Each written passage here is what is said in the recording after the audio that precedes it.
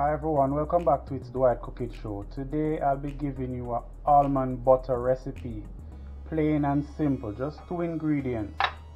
Half a teaspoon of kosher salt and two cups of almond. Let's get this underway.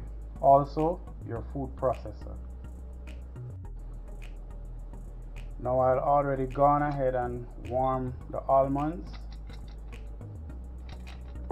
so that it will break down easily in the processor. Just want to go ahead and add the two cups of almond to the processor.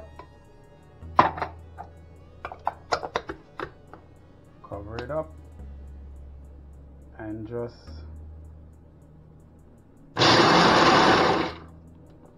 for a while I was trying to say pulse it just want to pulse it sorry for the noise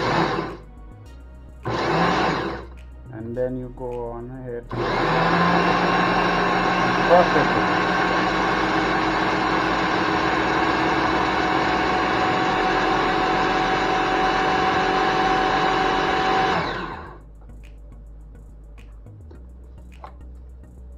Here you see it at texture that you want it to be at.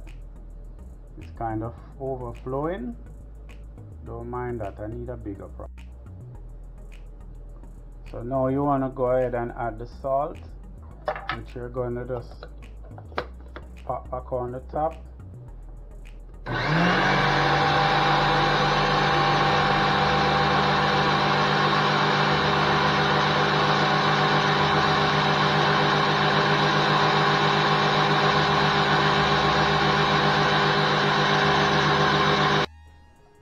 Now guys here you see the texture that you want it to come to which is a buttery texture. So you're gonna just continue to whip it until it gets to that moist texture.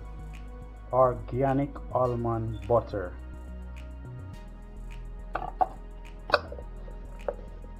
Just gonna do it for a few more minutes until it comes to that creamy rich texture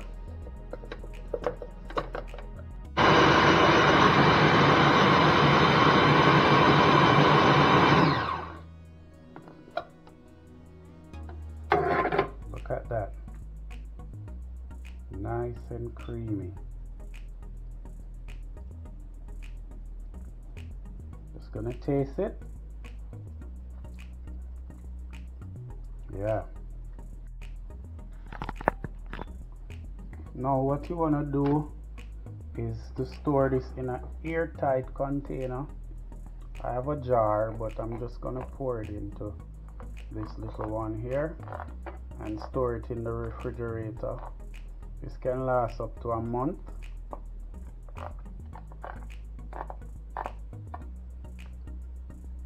Almond butter. Look at it very creamy. You know you know you saw me make the almond milk in one of my previous videos earlier this past few months. I put too much in it guys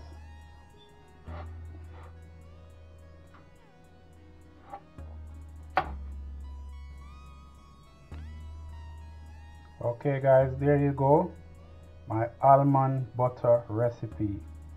I hope you guys enjoy. Now this is the regular butter. You use it on your bread toasts well same bread.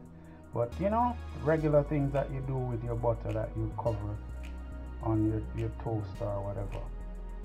Thanks for watching. Please remember to like share and subscribe to my channel for more videos